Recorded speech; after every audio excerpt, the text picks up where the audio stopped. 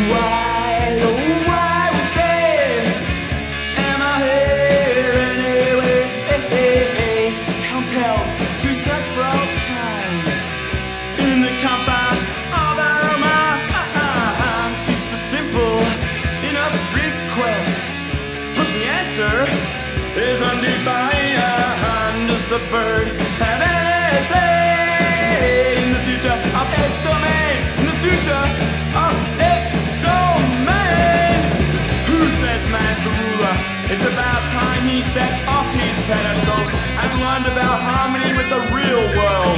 Not how to exploit its resources at the expense of every living thing.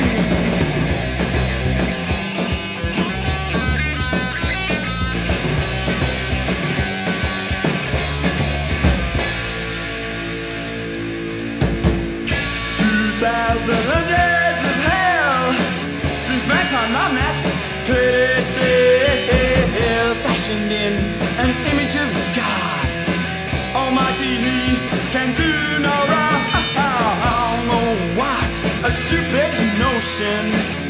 Say a man.